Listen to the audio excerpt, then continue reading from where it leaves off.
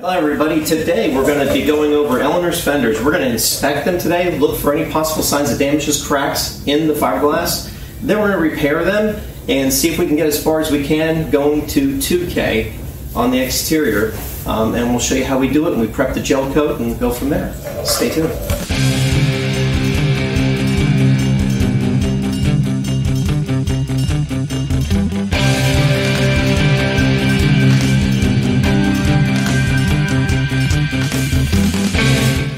Okay, we're going to start off with the passenger side front fender. Overall, not bad. We have a problem right there. That's cracked right there. I'm going to have to repair that at the hole there. You can see that's not good. And it's got a spider web out into the gel coat, so that's not good as well. That's going to need to be repaired. Bucket looks okay.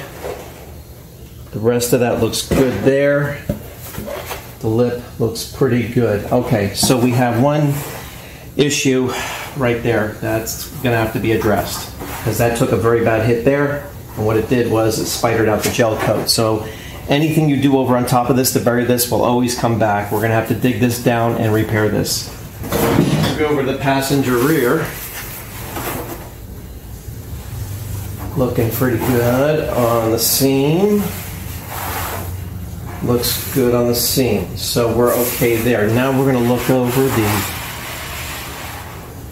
fender itself. Looks like this one is not going to be bad at all. What you're looking for is any types of cracks. Up, she got me right there. There's one right there. That's, that's another nasty one. Anytime you have a break like that, it's going to have to be sliced into, back matted, and then gel coated back up. Okay, so we have one there, and we have a little bruising on the bottom, but I can take care of that easily. Uh, we have one break point right there. There's another one, but it didn't saturate down into the flat of the gel. So that's pretty good there. This is our driver's side rear fender now. And what we're looking at, see a little bruise right there, a couple scratches. Not seeing anything outrageous here. Yes, we do. We got another break right here, but it hasn't spidered into, it just started to. It's just starting to get into there. So that's got to get addressed.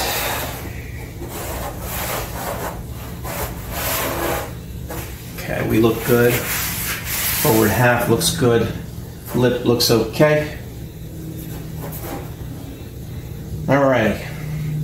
We're gonna have a little bit of work to put in these.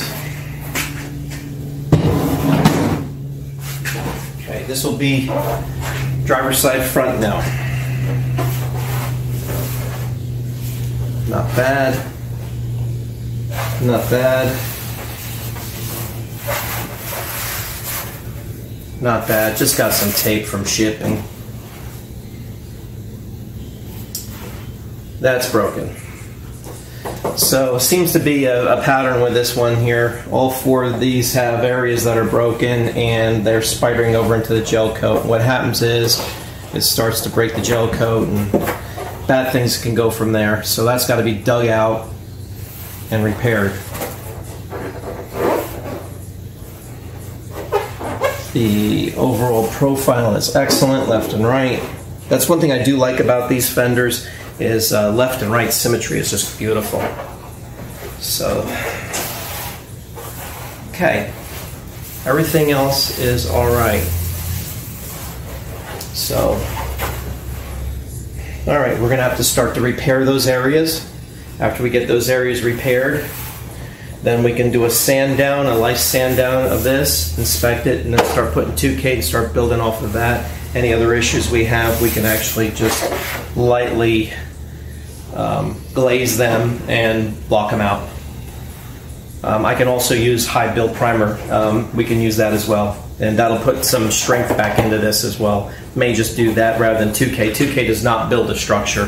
2K is just a flattener, just to smooth out any of the little whoopties and stuff like that. It's really not a leveler, although we have abused the product to do that. Okay, everyone. Wanted to show you what was going on with the fenders for Eleanore Let's see what we can do to get these in some kind of shape to where it's going to hold the structure again and not break anywhere in here. Kind of like that.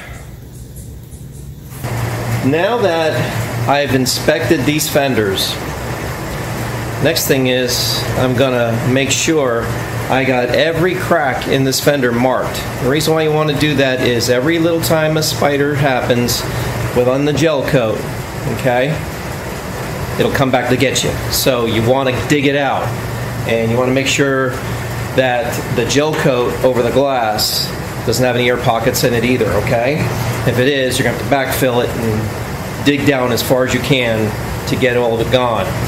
So that's what we're going to do today. We're going to mark every inch these bad boys, make sure I'm good, go in and Dremel them out as much as I can. Then we're going to put our gel coat back in. I'll show you how we're going to do that. There's several products in the market. There's several ways to attack it. I'm just going to do it this way um, with our fiberglass gel, or I can actually use the Kevlar. I might use the Kevlar. It's pretty damn good stuff.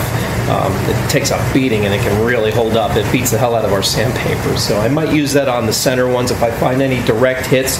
Like if this took a hit, like right there, it would spider out. And then you have to get all the spiders out of that you have to dig them down so you can fill them because otherwise they'll just come back. They, will come back 100%. This is how fiberglass is. It doesn't play nice. And boy, after playing with this stuff for so many years, I got to tell you, um, I'm tired of itchy and stuff like that. It's a pain in the ass to work with. But what's nice about it, no dents.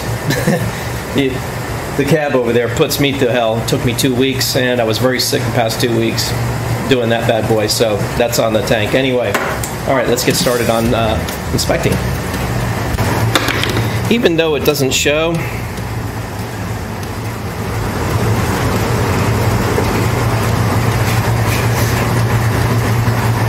good,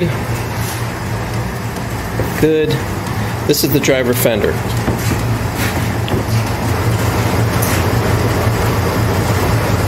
Okay. That one's our bad boy. All right, that one's good. Now I'm going to check and make sure we don't have no spider hits on this driver fender. I'm wondering if I'm going to even get around to doing any repair work today with the amount of I need to detective work this thing.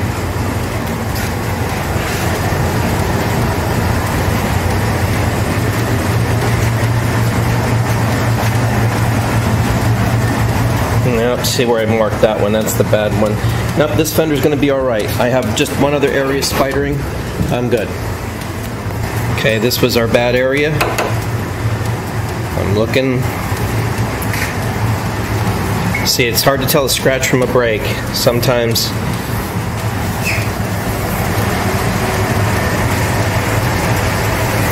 Okay. That one's a break.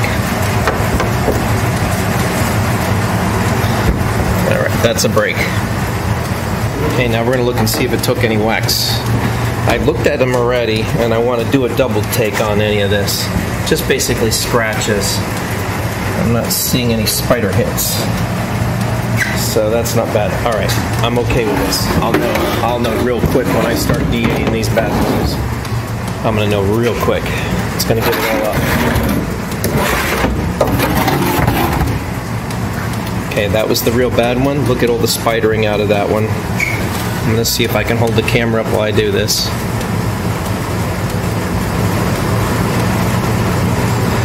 There's a lot of spidering in that one. See here? This is crap gel coat. It didn't adhere well and it chipped. We got to repair all that. That's all got to be dug out.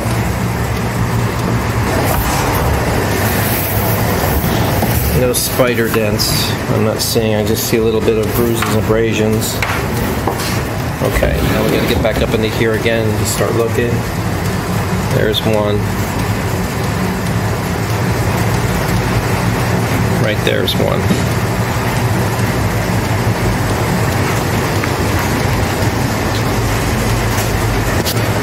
And this one here's got to get dug out.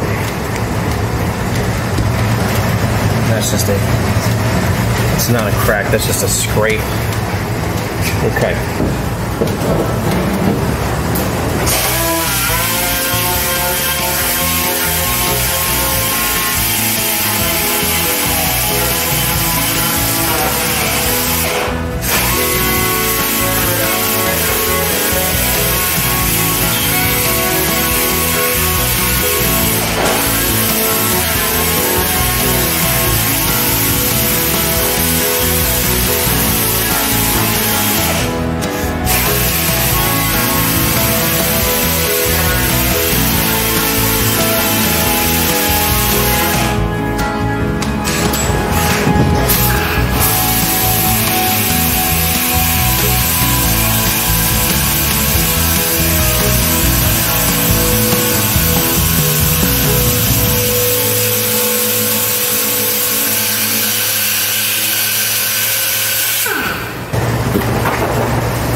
Amidst all that, that's a spider hit.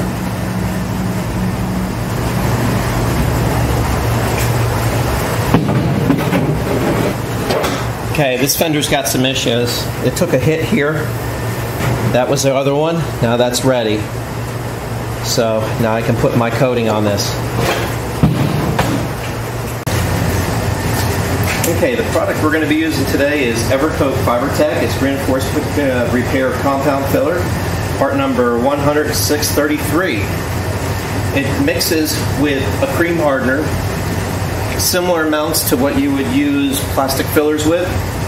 But what's really nice, it's got a, uh, it's an excellent rigid for plastic repairs, ground effects, spoilers, running boards, body panels. It, you can pretty much use this on anything, and it works really, really well and it has Kevlar in it. So you ever hear us mention around the shop, we put Kevlar reinforced fiberglass in. This is actually it. It's FiberTech by Evercoat.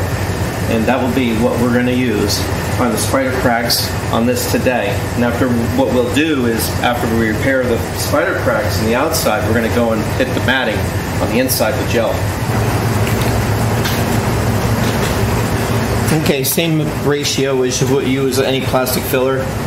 And so what we want to do is we want to mix it very thoroughly. And once you get going, you only have a minute or two, depending on how much humidity you have in the air, to apply this before it ter- starts turning. Once it starts turning, just stop.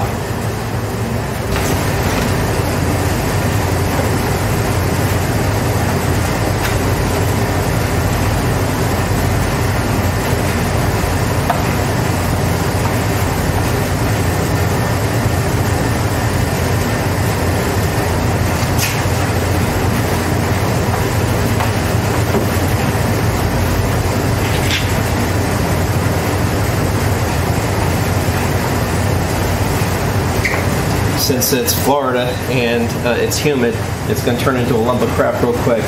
I leveled it up. It looks a little horrible there, but I want to make sure I get it to strengthen because that area is very weak and the fender actually flexes.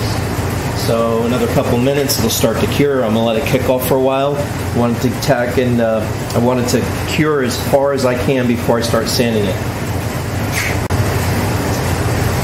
All right, now that I've done the first step of repairing this little area and this spider crack out, I'm going to continue on with the other ones, doing the same process, just repetitive.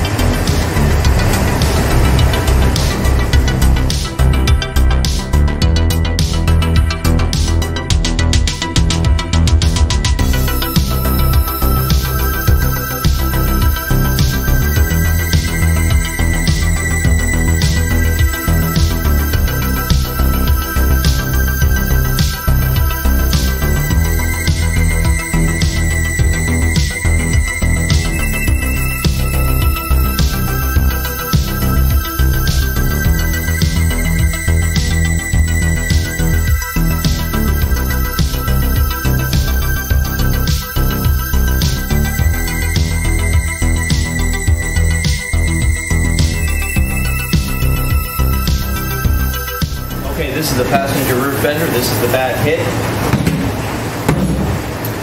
And we got one here to fix. And that should get us. So we're going to start digging this one out, see how bad the spidering is on that one. We're going to start there.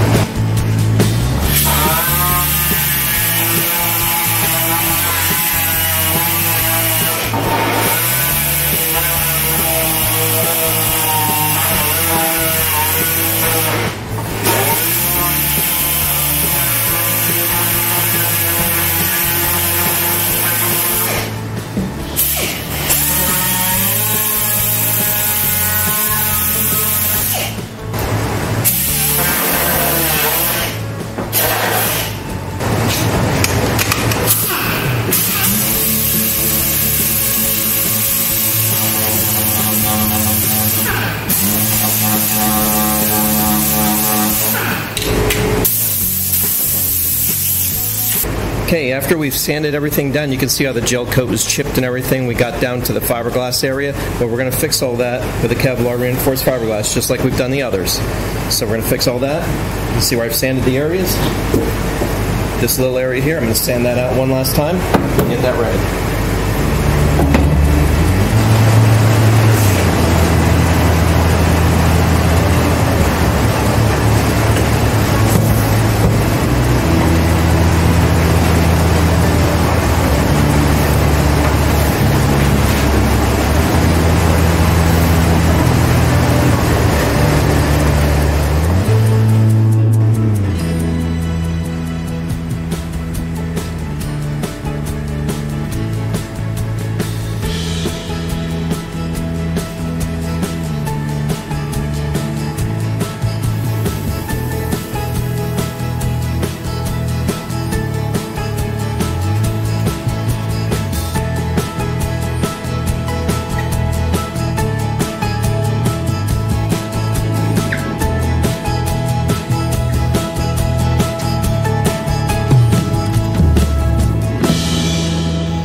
As it stands right now, we are at a point of completion for the day. It's past five o'clock, and we have the outside, all the spider cracks taken care of on all four fiberglass fenders for Eleanore.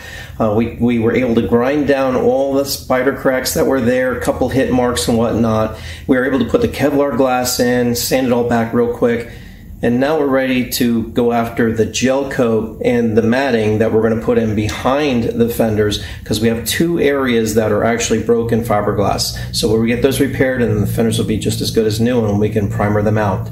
So everyone, thank you for joining us today and checking out Eleanore's Fenders and we'll see you on the next vlog. Thank you very much. Take care everybody.